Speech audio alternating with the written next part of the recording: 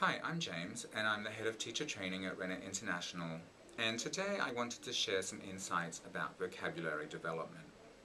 Now, recent brain research has shown that we understand and remember the content of what we hear and read by building mental models of information.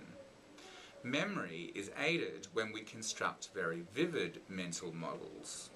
Now, the implication for vocabulary development is that it's important that we make the students' encountering of this vocabulary very memorable.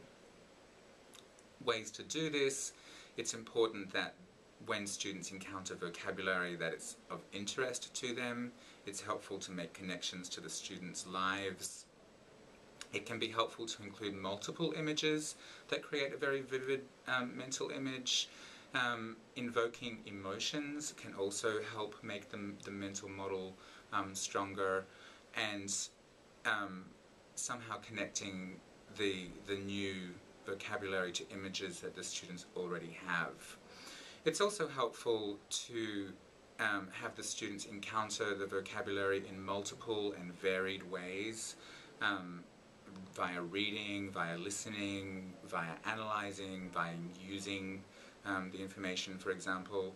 Some fun ways um, to have the students encounter vocabulary um, in a way that can make it very memorable are to use songs, to use games, um, puzzles, and a lot of um, images can be very helpful. So have fun with your students, but remember when students encounter vocabulary to try to make those encounters as memorable as possible and it will um, give the students a, a, a, um, a strong a basis um, to remember the new vocabulary. So, um, good luck and um, have fun. Thanks.